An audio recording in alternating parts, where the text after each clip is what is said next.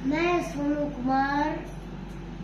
मैं आप लोगों से एक ही बात कहना चाहता हूँ कि जिस लोगों ने यह बोला था कि तुम्हारे चाचा एडमिशन नहीं करवाएँगे, तुम्हारे चाचा एमपी विधायक का टिकट लेंगे, उनको मैं यह कहना चाहता हूँ कि मेरा तो एडमिशन एलन में हो गया नहीं, राजस्थान की कोटा में। अब बताइए उन्होंने चॉइस करके मुझे भेजा कि भाई तुमको किसमें जानना किसमें तुमको बेहतर हो किसमें तुम आई ए एस का लक्ष्य प्राप्त कर सको। सोचने का हर कोई का टाइम मिलता है। अब लेकिन 10 20 को ऑफ़र है आपके सामने ए, पचास वेराइटी है सब जब पचासों खा जाइएगा एक एक थाली में उसने ना सोचिएगा कौन फ़ायदेमंद कौन मेरे लिए सेहत का मंद उसी प्रकार मैं चाचा सोच रहा था। तीन चौदह तारीख को मैंने माननीय मुख्यमंत्री जी से गुहार लगाई।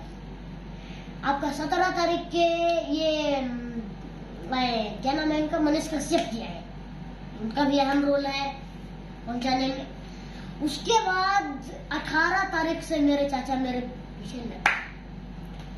उसके बाद उस दिन से ऑफ़र आना शुरू ऑफ़र आना शुरू ऑफ़र आना शुरू कभी तेज प्रताप जी बोलते, चाचा बोलते तेज प्रताप चाचा ऑफ़र देते। तो कभी पप्पू यादव जी भी ऑफ़र दिए। लेकिन देखिए, मेरा एडमिशन एक ही जगह करवाना था। इसीलिए मैंने सोच समझ कर और मेरा चाचा सोच समझ कर मुझे बताया कि एलन अच्छा है। अगर मैंने एलन में हाँ कर दिया। तो उन्होंने लिखित पूरा प्रोसेस के साथ मेरा एडमिशन हो गया और इस मुकाम पर पहुँचाने के लिए दोनों चाचा के हम। हाँ नहीं रहते तो मैं एक पटना का छोटा सा स्कूल में एडमिशन कर लेता। और कुछ नहीं होता। सुनो हम्म। मैं एक चीज़ कहना चाहता हूँ कि तुम्हें इस मुकाम पर लाने में हम्म। किसका रोल रहा पूर्ण रूप से दोनों चाचा।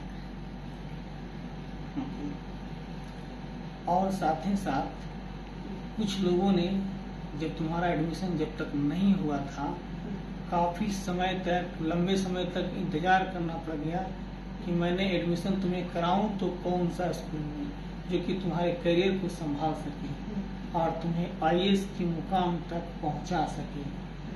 उस बीच कुछ लोगों ने कटा